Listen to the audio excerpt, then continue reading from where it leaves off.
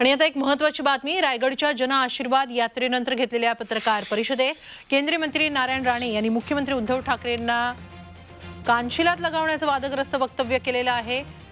नेमकं राणे काय बोललेले आहेत ते पाहूया. वॅक्सिन नाही हे नाही ते नाही स्टाफ नाही डॉक्टर नाही. भयाव परिस्थिती महाराष्ट्राच्या आरोग्य विभागाची होती. त्याला बोलायचा अधिकार तरी आहे काय? बाजूला म्हणा एखादा सेक्रेटरी ठेव आणि विचार बोल. त्याविषयी नाही काय? किती वर्ष आली देशाला? संतुलन हिरक महोत्सव काय? मी असतो तर कानाखाली चढवली मी असतो तर कानाखाली चढवली मी असतो तर कानाखाली चढवली मी असतो तर कानाखाली चढवली हे काय? देशाचं तुम्हाला स्वातंत्र्य दिनाची माहिती नसावी? सांगा मला किती चिड येणारी गोष्ट आहे. नाही मग सरकार कोण चालवतंय सध्या? सरकार कोण चालवतंय सध्या? कोण चालवत आहे ते कळत नाही ड्रायव्हरच नाही आहे आता राष्ट्रवादी मात्र उपभोगते सत्ता. उपभोगत आहे.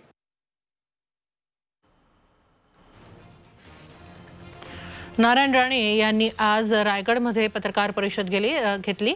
रायगडमध्ये ते जन आशीर्वाद यात्रेनिमित्त आले होते. यावेळी पत्रकार परिषदेत बोलताना राणे यांची जीभ चांगलीच घसरली. राणे यांनी मी असतो तर कानाखालीच लगावली असती असं मुख्यमंत्र्यांना उद्देशून म्हटलेलं आहे. नारायण राणे यांनी मुख्यमंत्र्यांबद्दल हे वादग्रस्त वक्तव्य केलं. ते पत्रकार परिषदेत पाहूया नेमकं रा नारायण राणे काय म्हणाले. वॅक्सिन नाही हे नाही ते नाही स्टाफ नाही डॉक्टर नाही. भयाव परिस्थिती महाराष्ट्राच्या. आरोग्य विभागाची होती. तिला बोलायचा अधिकार तरी आहे काय? बाजूला म्हणा एखादा सेक्रेटरी ठेव आणि विचार बोल. त्याविषयी नाही काय? किती वर्ष आली देशाला? संतुलन अरे हिरक महोत्सव काय?